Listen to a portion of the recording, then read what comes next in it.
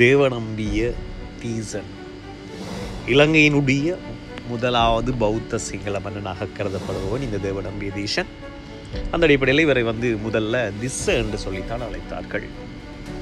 இந்த திஸ்ஸ மன்னன் இலங்கையை ஆட்சி செய்த காலப்பகுதியில் இந்தியாவில் அசோக அசோக சக்கரவர்த்தி என்று சொல்லப்படுகின்ற மிக பலம் வாய்ந்த மன்னன் ஒருதன் ஆட்சி செய்து வருகின்றார் அந்த அடிப்படையில் அசோக சக்கரவர்த்தியினுடைய மகன் மகிந்த தீரர் என்று சொல்லப்படுகின்ற பௌத்த துறவி.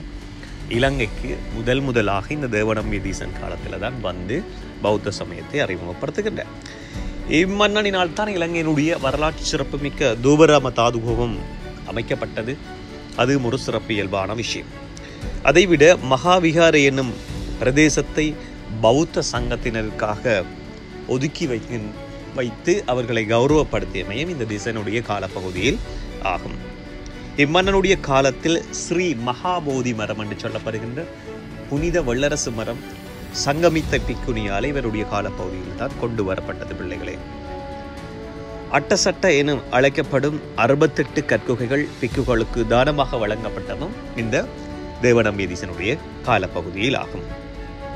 இதனை விட இந்த தேவநம்பியதீசன் இன்னும் ஒரு முக்கியமான விடயத்தை மேற்கொள்கின்றான். அதாவது அனுராதபுர நகரத்தினுடைய எல்லையை நிர்ணயித்து கொடுக்கின்றான் அது ஒரு சிறப்பு வாய்ந்த விஷயம். இலங்கையில் பௌத்த சமயத்தை ஏற்ற முதலாவது பௌத்த சிங்களவன் இவன் ஆவான் எனவே சிறப்புமிக்க இந்த தேவநம்பி தேசனை நாங்கள் எப்போதும்